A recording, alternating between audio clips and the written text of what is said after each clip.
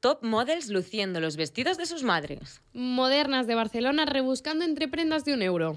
Prendas de archivo desempolvadas. Es lo viejo nuevo. Dentro intro.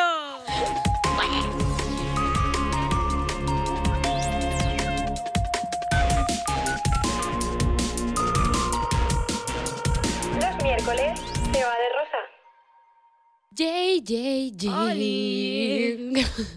Típico de programa como de la época.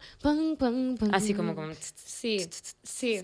Es que oigo la intro y me pone de buen humor. O sea, es como que cambia el día. Yo espero que cambie también el día de las personas que nos escuchan. Es como, ¡yay! Un ratillo ni que sea, ¿no? Sí. Em, ¿Cómo estás? hola, pues muy bien. Ya entrenada porque venimos de hacer otro, así que Sí. hoy entrenada ya. ¿Qué tal tú, Paula? Yo estoy muy bien aquí con mi cambio de pelito, ¿Te todavía acostumbrándonos. Total. ¿Te apetece Habrá pasado el un tema que tienes ahora o no? Sí, me apetece muchísimo porque creo que, nun- o sea, siempre lo mencionamos un poco, pero nunca lo acabamos de hablar y entrar en materia. Y hay muchos frentes dentro de hasta qué punto es guay lo que llevas o hasta qué punto lo has cogido un vertedero y tú te crees que eres la persona más fashion del mundo, ¿sabes? Claro, como un poco este desastre apocalíptico que se ha generado, ¿no? De vintage, todo es vintage. Sí, todo, todo es vintage, de es como, bueno, a ver, vale, sí. Pero ¿cuáles son las reglas? ¿Cuáles son las Exacto. normas, no? Un poco. Sí, vamos a, vamos a poner en orden nuestras cabecitas Claro. y a rajar un poco. Exa- sí, bueno, hablar un rato y pasárnoslo bien. Sí. Eh, ¿Quieres empezar un poco lanzando la idea de lo que es Sí. para quien no tenga claro esta diferenciación? Vale, yo tenía apuntado cuál era la primera vez que escuché el concepto vintage. No era vintage, sino que era thrift shop, Sí. que fue con la canción de I'm gonna have some Sí. only have 20 Qué fuerte, in ¿eh? my pocket. Pues esa fue la primera De vez Michael Moore. que llegó a mí ese concepto. Y Sí. dije, ¿eh? Porque aquí no se llevaba. No. De hecho, yo no conocí como el comprar tiendas vintage, o sea, ro- comprar ropa vintage como tal, hasta el momento 2010, puro 2010, que se ponen de moda los levis cortitos. Sí, y luego el flamenco es vintage kilo. Exacto, eso aquí en Barcelona pegó mucho, pero fue Durísimo. posterior. Sí, pero además en aquel momento como que yo entendía el vintage tipo camisas hawaianas Sí, y total. chaquetas a treinta y pico pavos, que era como, pero no lo entiendo. ¿sabes? Claro. Sí, porque en ese momento existía el- la ropa de segunda mano, que en ese momento daba puto asco, porque lo relacionabas como con algo sucio, feo y, y- y de la Bueno, basura. pero porque no se entendía lo que era. Claro, porque ni no el se sabía. procedimiento que había detrás, ni Sí, nada. y entonces cuando llegó con el vintage kilo era lo más moderno, lo que venía de Estados Unidos, todo camisetas como de, de eso, de hawaiano. Es que solo había camisas hawaianas y Sí. vestidos de cheerleader, Sí. que yo decía, madre mía, pero... Total. Y encima muy caro también. caro. Y había muy poco, había mucho engaño, pero vale. Eso Exacto. sería como la primera vez. Estoy completamente de acuerdo. Y luego también hay un poco esta clasificación para que entendamos también un poco el capítulo de hoy de eh, qué es vintage y qué es archivo. Porque no es lo mismo. O sea, sí es lo mismo, son prendas antiguas en ambos casos, pero unos tienen una implicación que el Sí, otro no. Exacto. En el caso de archivo, Y habría hasta una tercera, que es vintage, que es archivo y que es basura. bueno, a es ver. verdad, tía, creamos muchísimo desperdicio Sí, textil. Sí, sí. Y eso es basura y eso va a vertederos. Ya me puse aquí como reivindicativa, pero Sí, sí. no todo es guay, por desgracia. No, pero también ahora cada vez más, ¿no te pasa que vas a buscar a una tienda de vintage? A mí es que me gusta, yo a Sí. veces lo hago como un poco por, por hobby. Sí. Y ya empiezan a haber prendas dentro de esas tiendas que son de Bershka, que son de Zara, que son de no Sí. sé qué, y dices, hostia, ¿sabes? Como que ya hemos llegado a esos años en los que comprábamos fast fashion en España y esas prendas ya están. A en ver, yo tengo que decir que tengo sentimientos encontrados respecto a este tema. Que haya tiendas como de segunda mano de prendas de Inditex. O sea, porque al final es como os vais a comer vuestra propia mierda que habéis generado porque habéis querido ir tan rápido que hemos sobreproducido ropa y vale, ahora vamos a intentar salvarlo. Pero imagínate lo baratas que son esas prendas que si a nosotros ya nos cuestan nada de primera mano, imagínate cuando llegan ahí. Ya, O sea, es pero yo encontrado, yo tengo una rabia. falda cortita de Bershka en sus primeras colecciones, supongo, Sí. porque la etiqueta ya no es tipo, es que ni, ni la recuerdo yo esa Sí. etiqueta. Y es una minifalda de playa reversible, de esas que se da la vuelta. Sí. Tía, me parece chulísimo. Y digo, ¿cómo esto ha llegado hasta esa tienda? ¿Cómo ha perdurado en el tiempo? Porque yo siento que la ropa de Intex cuando pasa una temporada es como que se autodestruye, Pues, no le da sé. a Mancio Ortega un botón alguien y la hace compró. toda la ropa. Claro, yo creo que alguien la compró, la usaría un tiempo, se cansó, Sí. acabó en algún lugar y la compró la tienda. Pues Sí. bien. No sé. Yo digo la típica camiseta que llega a las tiendas vintage, que es de niño pequeño y te la intentan meter eh, como si tal y tiene manchas de papilla Sí, y ya. un roto ahí Bueno, y- que dices, claro. a ver, eh, 25 euros, me estás engañando. Sí, sí, O hay, sea, esto no hay límites. Yo, por ejemplo, en Francia sí que es verdad que hay muy buen vintage. O sea, depende del país. He de decir que España yo creo que vamos muy por detrás, pero sí que hay tiendas Qué que curan raro. En Neare Clothes, por ejemplo, que el otro día estuvimos Sí. en Madrid y la vimos, joder, pues tienen prendas Y aquí en. Barcelona, bueno, de hecho, tanto en Barcelona como en Madrid y en el norte, supongo, pido perdón porque todavía es un terreno por explorar para mí, quiero ir próximamente, tenemos buenas tiendas de ropa vintage de lujo también, Hmm. ¿sabes? Como más con prendas, lo que hablábamos. O sea, más Obviamente no como yo que sé. Londres, París y tal. No, ni Nueva York tampoco, pero bueno. Ya. Eh, ¡Ah, qué ganas! Es que nos ponemos los dientes largos aquí y nos hacemos daño. Bueno, es que hay que explorar. Bueno, espera, mundo. la diferencia entre vintage y archivo, Sí. que la gente lo tenga claro. Archivo es cuando la prenda tiene un valor, eh, ya sea por el diseñador o ya sea por el valor monetario de esa prenda, ¿no? Porque a lo mejor se hicieron X unidades y por lo que es muy caro va muy buscada. O sea, al final lo que quiere decir archivo es que ha estado guardada, ya sea Sí. en las casas, las firmas o los museos. Sí. Eh, ¿Por qué? Pues porque tiene un valor. Vintage, ¿qué implica? Que tiene más de X años. Puede ser más de 20 años, más de 30 años, más de 40 años. Eso ya depende. Sí. Luego también me gustaría como destacar que, bueno, básicamente eso, lo que has dicho de las prendas de archivo, y es que a veces hay empresas, marcas, tiendas, llamémoslo como quieras, que se dedican a vender prendas pasadas de diseñador y parece que todo es archivo y no por el hecho de que sea Exacto. viejo. Exacto. ¿Sabes? Es vintage. Exacto. Eh, también yo creo que sería la fina línea entre archivo y pasado de moda. O sea, hay muchísima morralla que no tiene ya valor, aunque sea, me da igual, de Chanel, de Dior o tal, y prendas archivo que han tenido como un impacto que fueron Claro. un momento, ¿sabes? Es que en, es- en este sentido el valor de la exclusividad tiene mucho que ver con el archivo. O sea, al final Sí. el archivo. O quién lo ha llevado. Claro. Que es una pieza de museo, Sí. prácticamente. Es decir, que lo ha hecho un diseñador y hay dos unidades en el mundo, que lo llevó Marilyn Monroe, que lo llevó. Whatever. Una Sí. modelo en una pasarela de los 90s y que luego no se produjo para venta, pues puede ser todo esto. Sí. Eh, y eso es lo que implica archivo. Yo, por ejemplo, tenía una lista porque me causaba muchísima curiosidad cuáles eran las prendas consideradas de archivo que tenían más demanda o que habían tenido como más éxito. Entonces, si quieres te las cuento Venga, a ver dale. para porque yo creo que también es muy ilustrativo para, para ver qué puede ser una prenda de archivo. Me ha llamado la atención que hay muchos diseñadores japoneses y yo creo que es por este momento en el que la ropa de los diseñadores en general asiáticos era de muy difícil acceso antes aquí en Europa, entonces es como que tiene un valor en plan, ¡buah, codiciado! Y tenemos las chaquetas de Yoji Yamamoto que tenían unos estampados en la espalda de, sobre todo, mujeres pin-up, y estos son piezas súper, súper codiciadas, me parecía como guay. Luego, dice Milla que esta prenda me parece muy guay porque a ver si sabes cuál es la película. Es una chaqueta cargo, pero se hizo muy, muy, muy famosa y es considerada archivo porque la llevó el actor de Flavor. La, la masa esta que... Este, ¿cómo se llama? Robin Williams. Otra colección. En verdad es una prenda, pero es una colección en general a la que se le tiene mucho culto en la moda, que es la de Riot, Riot, Riot de, de Raf Simons, bueno, Raf Simons, que siempre estamos con la movida del Simons o Simons, de Raf Simons porque Kanye West y Kim Kardashian han llevado muchísimas veces piezas de esta colección y en concreto hay como una chaqueta que es de estampado militar. Sí. En ese momento no se hacía tanta ropa militar, entonces fue como una declaración de intenciones de el tipo de moda que va a hacer Raf Simons y también por el hecho de que lo haya llevado Kanye West, que se considera incluso que es su chaqueta favorita, es una pieza como muy, muy, muy codiciada.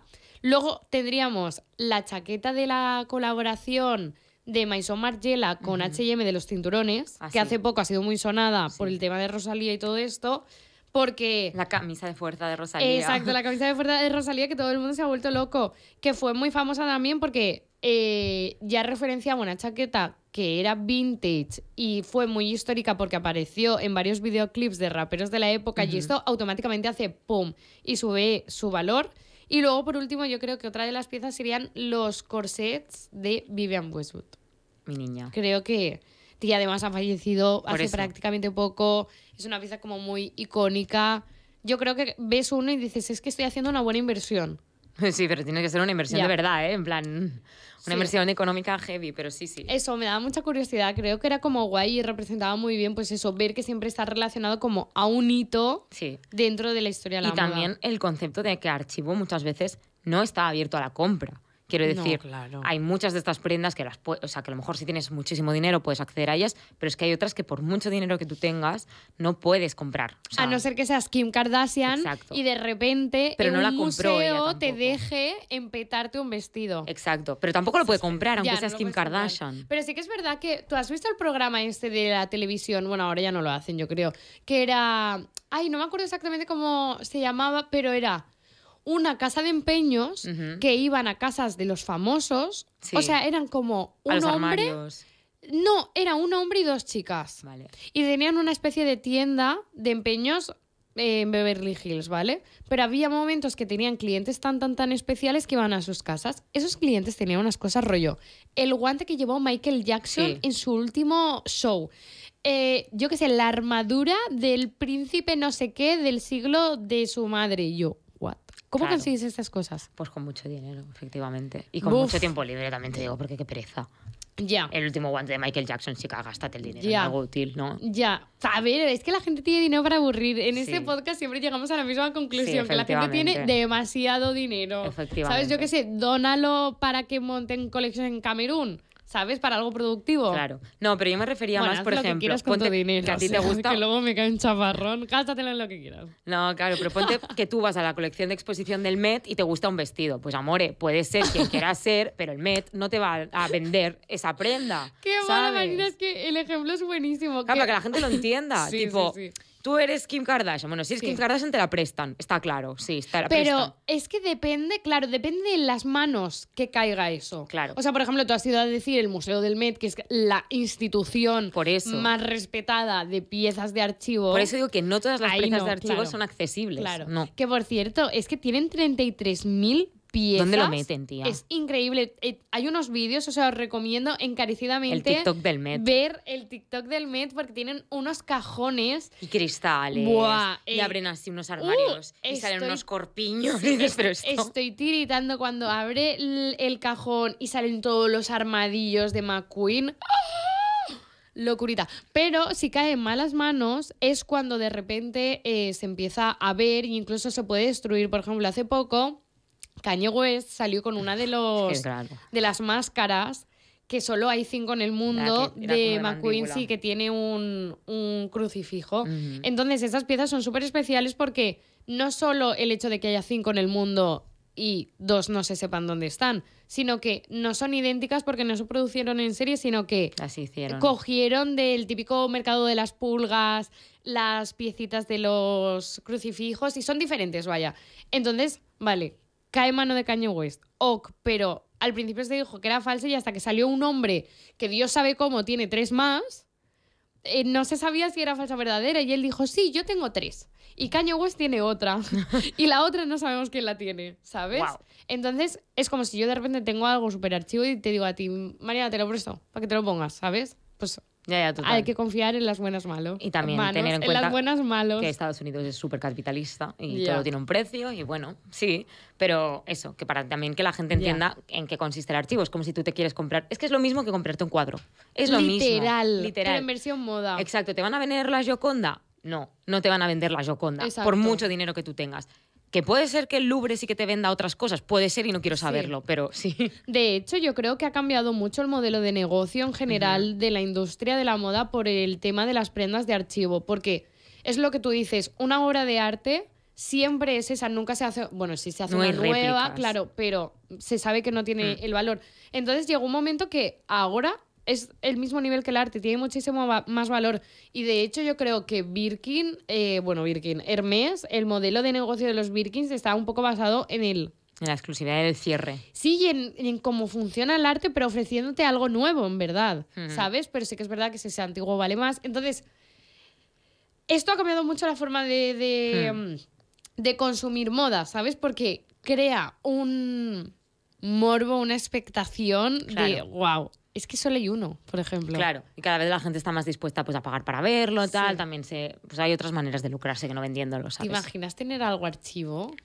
La verdad es que no, porque no sé dónde lo metería en mi piso de 50 metros cuadrados. Tipo, me salgo yo de mi piso. ¿Tú te acuerdas cuando vino Fran de Solas que contó que tenía una persona conocida cercana que tenía piezas de archivo Sí. y las tenía como en urnas? Bueno, claro, es que. necesitamos una excursión a este sitio. Claro. Es una auténtica fantasía. Eh, sí, 100%. Otra cosa que me había apuntado, que ahora estamos recuperando mucho. Fíjate si nos gusta lo viejo. Es que todo esto viene de que ah, leí hace poco un artículo que decía, Nos ostras. gusta lo viejo. Sí, estamos súper encandilados y súper enamorados de todo lo viejo hasta el punto que lo nuevo es viejo.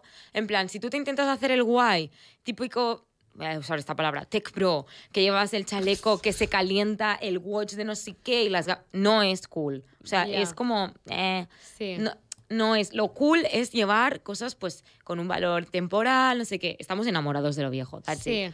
Pues estamos hasta tal punto que Pero recuperamos... Yo creo que estamos muy sobreestimulados, Sí, ¿no? obvio, obvio. Y siempre es mejor lo que fue más icónico en el pasado. Eh, hasta el punto que recuperamos no solo los iconos del pasado, sino esta nueva figura que son las Nepo Babies, que son el resultado y el producto de nuestros iconos del pasado. Es muy heavy. En esto. plan, Cindy Crawford tiene una hija. Pues nos gusta su hija. Nos gusta su hija. Que en verdad nos tendría que seguir gustando Cindy Crawford. Claro, claro. Porque es lo viejo. Bueno, y es guapísima, perdona que te diga. O sea, que lo digo solo porque me ha hecho mucha gracia lo de nos gusta lo viejo. Es verdad, pero estamos obsessed. Y a mí Sí. hay un fenómeno que me encanta, que es cuando estas chicas, estas Nepo Babies, sacan del armario de sus madres los es vestidos. muy icónico, ¿eh? Me encanta. Estoy es en love muy con guay. estos. Mencionanos Entonces, algunos. Claro, yo había puesto que eh, el primero de todo es uno muy sencillito, que es un vestido que Lenny Klum le ha cogido del armario a su madre, a Heidi Klum. Es un vestido negro satinado de hace 25 años. No tiene nada de especial, es simplemente un vestido liso, satinado. Sí. Pero si ya te sientes tú icónica cuando le coges algo al, al armario de tu madre, imagínate, Imagínate. si tu madre es Heidi Klum. No, no. Hasta luego. Además, las dos son guapísimas. Si tenéis oportunidad de verlas, es una cosa espectacular. O sea, es ofensivo, ya está, no pasa nada. Aquí ¿Quién está. más? Kaya Qué heavy, ¿eh? Kaya Gerber, como hemos dicho, es la Sí. hija. Esta es la hija de, de Heidi Klum. Es Sí, que, sí, claro. Es que es heavy. Es que, a ver. Pero parece una muñecota, ¿eh? Es como una muñeca. Ha hecho la campaña de Intimissimi ahora y parece una muñeca. Sí, es guapísima. Eh, la otra hija es Kaya Gerber, que es hija, como hemos dicho, de Cindy Crawford, que cuando cumplió eh, 20 años, creo que fue, rescató un Versace de la... Hace era poco, una- ¿no? Era un remake, exacto, Sí. sí. De hace 30 años que su madre llevó a la gala de los MTV VMA, sí. que era reportera y iba con el micrito Cindy Crawford, pues Kaya Gerber se pidió hacer eh, un guiño a su vestido de su madre. Estas cosas me parecen icónicas. Sí, es, es que me parece lo más. Que Además, es como que eh, engrosa todavía más lo que es el legado de la familia, De la capas. aportación a la cultura popular, a la moda. Es como, ¡ah! I'm serving you. Sí, es como que me encanta. O sea, a mí en cuanto hay medio salseo, medio recuperar historia, tener que investigar, digo, ¡buah! Pues me- gracias por ese momento. O sea, Chulísimo. sí, necesitamos. Y por último, una persona que es, eh, bueno, es muy joven, pero parece que tiene mentalmente como 50 años, es Lily Rose Depp, Sí. ¿no? Porque tiene este como savoir-faire francés. Sí. Y ella es clavada a su madre, a Vanessa Paradis. Y esto ha sido Es para ella, sí, muy fuerte. Una baza muy heavy a la hora de meterse en el mundo pues, de Chanel, de Dior y todo esto, porque su madre ya fue imagen de estas casas. Y literalmente es que le coge todo. Coge vestidos, coge tops, Pero coge... es que tú lo harías, yo lo haría. Obvio. Y más si tengo la misma talla, el mismo O cuerpo sea, que mi madre. Aunque no fuese mi estilo, es automáticamente darle un botón y decir, I'm gonna be an icon. Iconic. Sí, quiero Y luego a otra persona que le ha robado un poco del armario es Sí. este, que no es el mismo vestido, o sea, es el mismo Sí. vestido, pero no es el de Kate Moss. Pero fue esta prenda icónica de Kate Moss que ¿por qué se ha hecho tan viral? Pues porque Kate Moss al final es la expareja de su padre. Entonces, Es llevar el mismo vestido haciendo un guiño a esta pareja que tuvo tu padre en los es como te 90, has pues, pasado, tía. pues fue bastante. Que sonado. también alerta con la hija de Kate Moss. Eh, sí, Lila Moss. Sí, exacto. Ella es top model, también bueno, está Sí. desfilando bastante. Todavía no le está cogiendo las cosas a su madre. No. Igual su madre es tirona. No lo ¿Quién sé. no tiene una madre tirona? Pero es que Kate o Moss, una yo creo que tiene muchos básicos. Entonces, igual no es tan reproducible. No sé. No lo sé, no lo sé. Buah, iba a decir una burrada. ¿Qué? En plan, o igual se le rompía toda la ropa cuando se estaba metiendo cualquier cosa. Pobrecilla. Chao. Pobrecilla, se estaba metiendo todo el mundo. Sí. Solo la sacaron a Ya, ella. total. En fin. Eh, pues eso. Censuredo. Eh, y ya está. Sería son muy guay. mis iconos jóvenes. pues me parece maravilloso. Espera, es que se me ha ido el documento y me he perdido. No te preocupes. Ah, otra forma que... eh, o sea, me parece muy guay, no tengo nada más que aportar sobre los iconos porque considero que es 100% terreno. Y mm, yo quería decir que en estos últimos años, también ah, haciendo referencia un poco al fenómeno de redes sociales, ha nacido, no ha nacido ahora, pero yo siento que ahora sí existe más que nunca eh, Sotheby's, que es como la mayor plataforma, la mayor organización de venta de piezas como muy, muy icónicas de moda. Muchas veces archivo, por ejemplo, ellos fueron, cuando falleció Virgil Ujú. ellos fueron pues la única persona, bueno, la única persona, la única Entidad. empresa, entidad, vamos a llamarlo, que tenía acceso a las últimas Nike que hicieron en colaboración con Louis Oh, wow. Vuitton. Entonces, creo que es muy guay solo por darte el gusto visual y de cultura propia de decir, ay, voy a ver qué hay en Sotheby's Claro. o qué va a haber en Puja. Y me parece muy loco los precios que llega a alcanzar este tipo de moda. O sea, muy, muy heavy. Me Tenemos parece algo- guay, no sé, como típica tarde tontorrona que dices, no sé qué voy a hacer. Pues métete en la página web de eso, te vais a ver que. A ver qué se está subastando hoy. Sí, porque en verdad descubres piezas muy interesantes que son un pedazo de historia y no tenías ni idea. De Claro. repente que lo ha llevado no sé quién y dices, wow, qué chulo. No sé. Eso educa la vista para mí como, siempre. Un poco como tener anécdotas. Sí, sí, está muy guay. Qué guay. Ay, Eh, y luego también tenía apuntado aquí como anécdota que el hecho de la viralización de la Sí. gala del Met Sí. también ha ayudado mucho a crear esta como cultura de archivo, que es la Sí. que estábamos hablando ahora. Sí, en general las apariciones de las celebridades, Exacto. ¿no? Últimamente yo creo que también Zendaya ha hecho mucho push con Lau Roach a todo lo que es archive, en plan, es que ya no te sale ni decirlo en español, es como archive. Archive.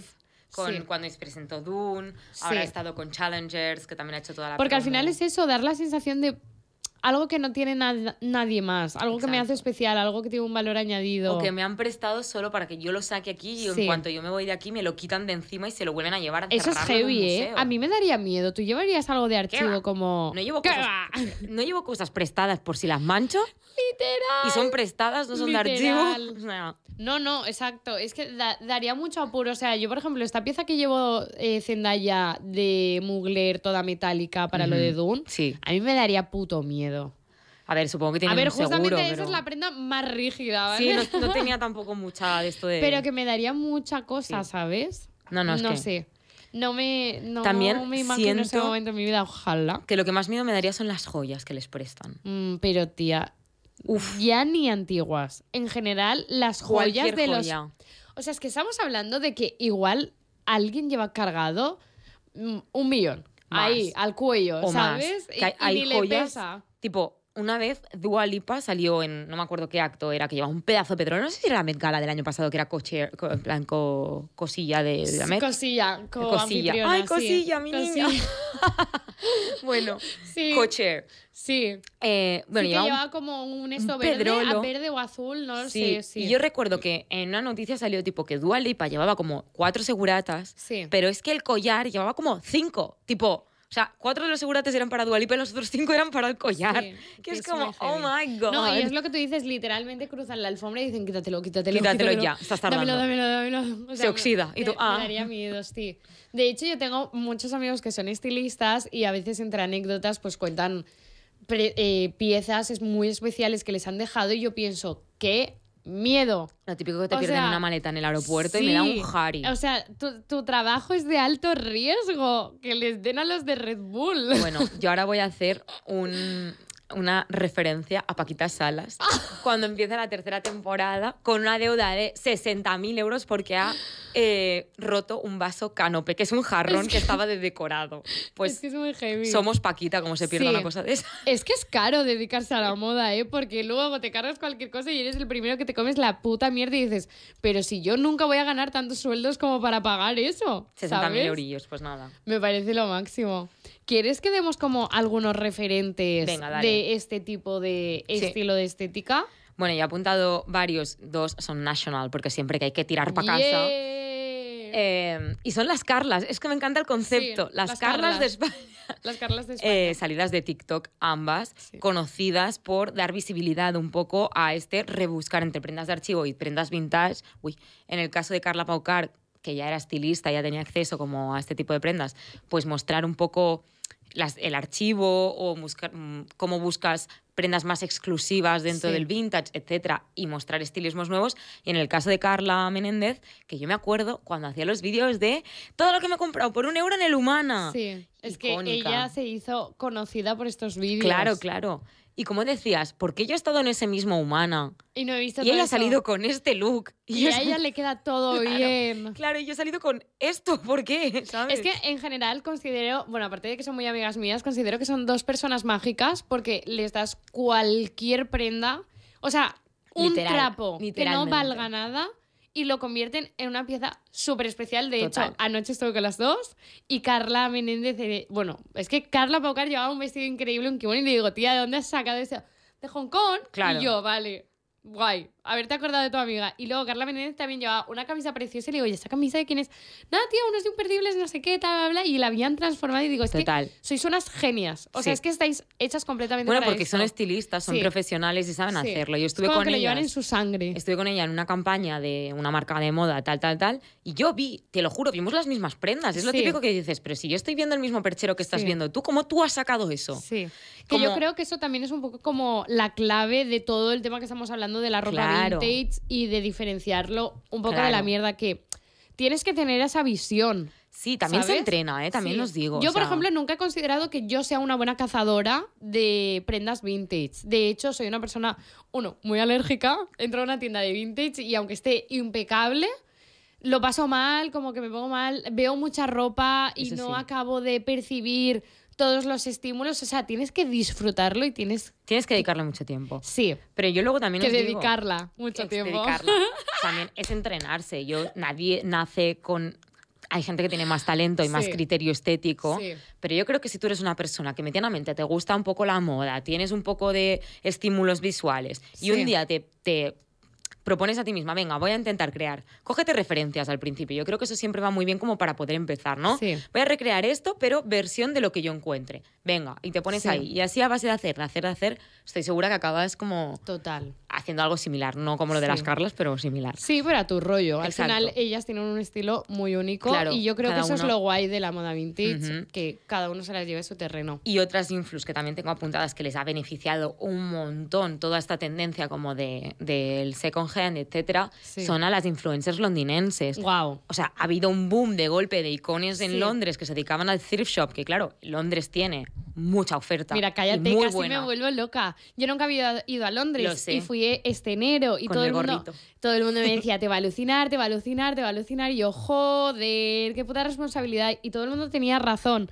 Es Entonces, yo llego un momento... No defrauda, ¿eh? No defrauda. Uno, llevaba una maleta facturada. Entre tres personas, esa maleta facturada la ocupé toda yo. Y llegaba un momento que es que me gasté todo el dinero que había llevado Además, no es para barato, gastar. Es que no es barato el ¿Sabes? O sea, a ver, tengo que decir que yo estuve ahorrando tiempo para ir a este viaje ya con el cometido Pero me refiero que de no es quiero como encontrar aquí. piezas, ¿qué tal? Claro, que no es como aquí que No dices, voy a thrift shopear y No. te llevas 10 euros. No, o sea, allí vas a gastarte Sí. dinero. Pero las cosas que tienen, entonces, claro. es que si hay tú- cultura de... Sí. Si tú tienes, eres influencer, tienes un perfil público. Y ya no es como antes. En plan, Dicen que el... el- Que ha empeorado. Sí. Bueno, porque se ha visibilizado claro, mucho y tal. exacto. pero sí que hay cosas igualmente sí mejores hay. que aquí. Sí hay. Eh, si tú eras influ, te dedicabas a eso allí y de golpe tenías acceso a toda esa oferta, pues jolín, se han creado unos perfiles públicos eh, 100% dedicados a esto, como por ejemplo el de Lara Atkins, Sí. que a mí me flipa porque es una chavala jovencísima, no sé si Sí. tiene 21 años. Es que es heavy la gente de 20 bebé. años. ¿Qué le dan? Claro. ¿Qué les dan? y tiene un saber llevar las cosas pese a que no son la tendencia, pese a que no es lo que lleva todo el mundo, pero es lo que ha encontrado ella en una tienda guay de Londres, Sí. que dices, tía, muy bien, ole tú. Exacto. Y yo luego solo tengo acceso aquí a las cinco tiendas de Inditex. Y bueno, aquí, al menos en Barcelona, hay bastante. Hay más pequeñitas vintage, ahora. Sí, y. Bueno, en Valencia cada vez hay un poquito más. Sí, Sí. gracias. Sí, ¡eh! Mis de Valenciana! Ahí en Ruzafa hay cada vez más Exacto. Que hablando de Londres y hablando de moda vintage y de archivo, yo quería dar una recomendación, al- aunque sea solo por el gusto de ir a verla, porque yo obviamente fui a esta tienda y vi una etiqueta y no es que no me lo pudiese permitir, es que casi me mandan directo al hospital. y es Lovers Lane, que está en Portobello Road, que es donde hacen como el mercado de Portobello. O sea, yo aprovecharía que si vais, sea justo cuando está el, el mercado, porque así ya es como que haces el pack completo. Tía, era una absoluta pasada. que esta tienda tenía piezas de archivo de pasarela. Ahí, qué guay. ahí las toqué. O sea, rollo Dolce Gabbana 2002. Eh, bueno, corsés de Vivian Westwood, todos los que quieras. Piezas de Chanel de Karl Lagerfeld, pero 2008. O sea, una locura. Y yo decía, ¿Qué haces tú aquí? Tío, eh, solo te dejaban entrar como de seis en seis en la tienda. Hombre. Estábamos como mi grupito y el otro.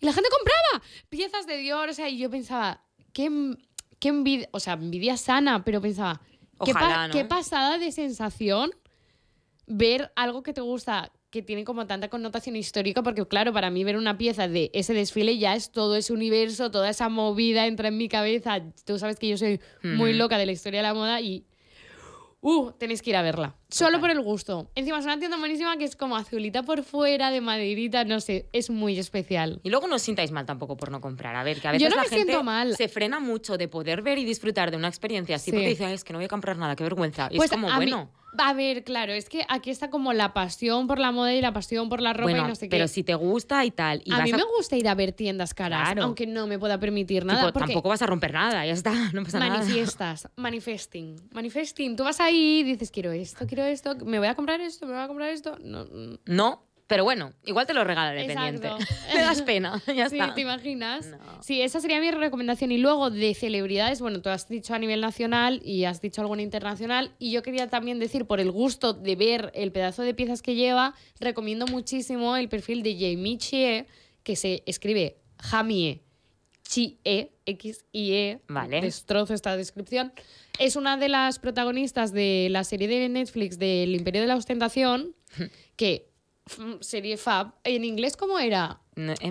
Eh, es que quiero decirosla en inglés porque no sé si estaba en inglés en Netflix. Bueno, la cosa, ella es una de las protagonistas y ella se hizo.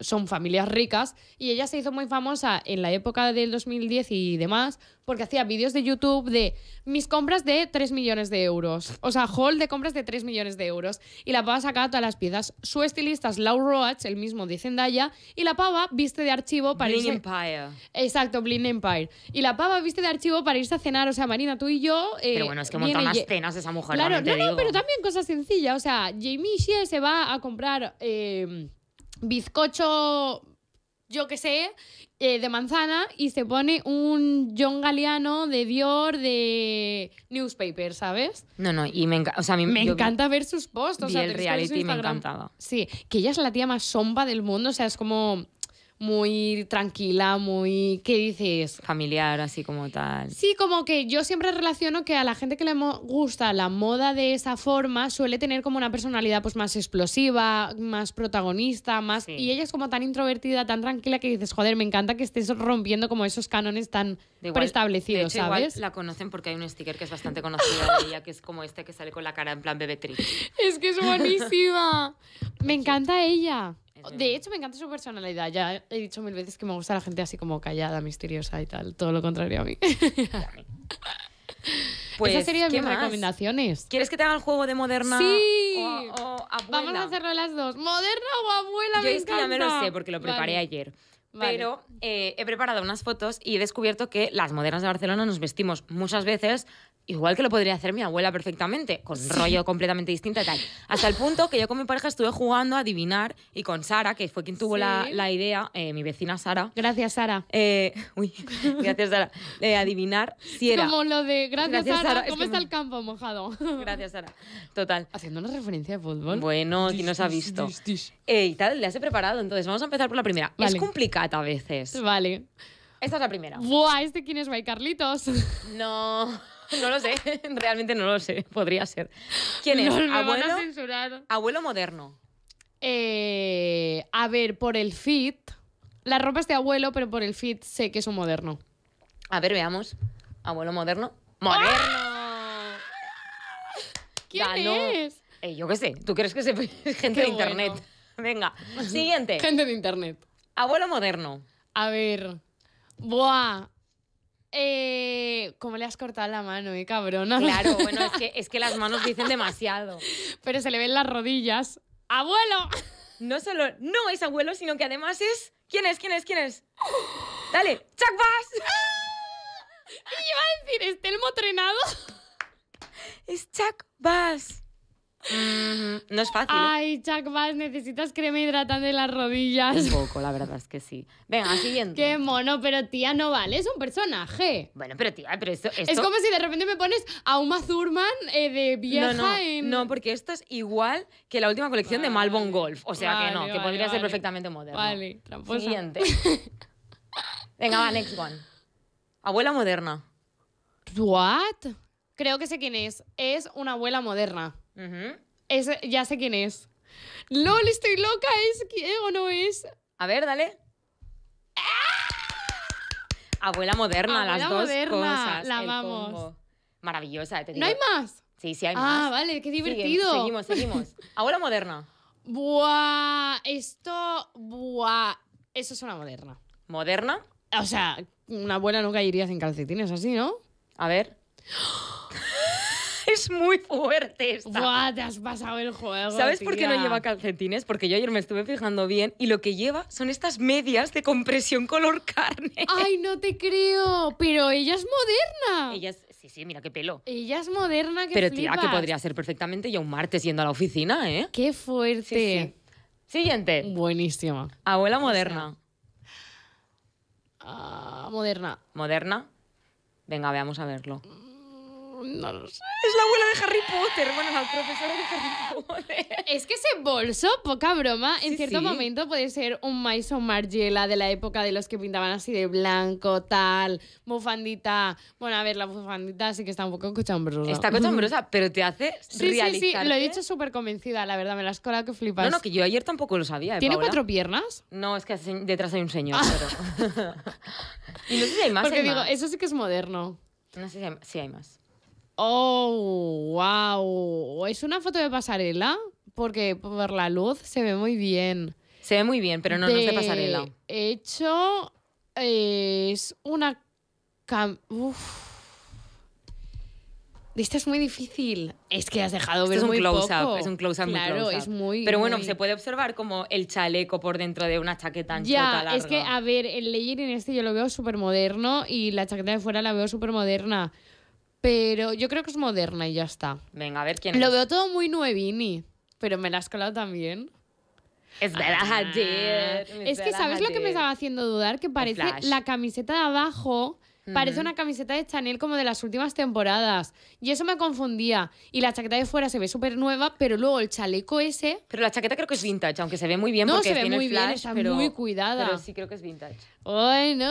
Joder, estaba chulo, ¿eh? El juego es muy guay. Ha sido muy guay. ¡Ay, hay otro! Abuelo esto, moderno. Esto es. Guay, ya sé quién es. Es un influencer que es un chico mayor y es moderno. A ver, ¿no lo he acertado? Le amamos. No es exactamente el que yo decía, ¿eh? No, no me voy a echar más flores de las que me corresponden. Pero es Pero sí buenísimo. es, sí es. También se hace fotos y también las sí, sube y es sí, sé quién persona. es, pero no es el que yo decía. Abuela Guau, moderna. ¿Es BB Tricks? Podría ser, ¿eh? Perfectamente. ¡Buah! Eh, buah, es que el suéter de abajo me está dando una ajena. Ese suéter rojo, ¿qué es? Me encanta. Es Bebetrix. ¿Es Tricks? ¿Quién crees que es? Abuela moderna, va. Buah, yo creo que es una abuela tarada. Venga, a ver.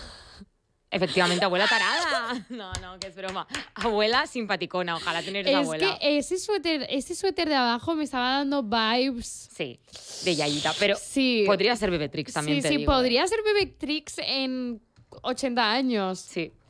Pues ya está. No es Belize, es Baby Tricks. Pues esto Me nos ha demuestra encantado. que realmente nuestra línea de vestir con la de nuestros abuelos es muy difusa. Decirnos, por favor, cuántos habéis acertado, si habéis visto el capítulo con imagen. Eh, muy guay. No hemos descrito nada. Bueno, es que es, que complicado. contamos mucho con que nos vemos Es las complicado caras. de escribir el juego. Os recomiendo, si lo estáis escuchando en Spotify, de verdad, ir a mirarlo porque Sí. es complicado de escribir. Sí, dedicaros ese ratito para vosotros. Tía, Pues me ha estaría. encantado. ¿Te ha gustado? Sí, muchísimo. Qué guay, qué sorpresitas me tiene Mariela preparada. Hmm. Y ya daríamos los agradecimientos, ¿no? Venga, pues vamos a agradecer a BCN Media Hub, que es el lugar en el que grabamos. Bien, a Lesh y Paul, que están en la cabina desde hace dos horas escuchándonos. Bien. Y a Paula por venir A desde Madrid. Por, por venir. Ey, Y a. Código Nuevo por producirnos el podcast, que no está mal tampoco. Love you. ¿Cómo que no está mal? Es lo mejor que tenemos. Gracias, Código Nuevo, por hacernos existir. Y nos podéis ver cada dos miércoles en YouTube y en Spotify y todos los días por redes sociales. Y los miércoles ¡Se va de rosa!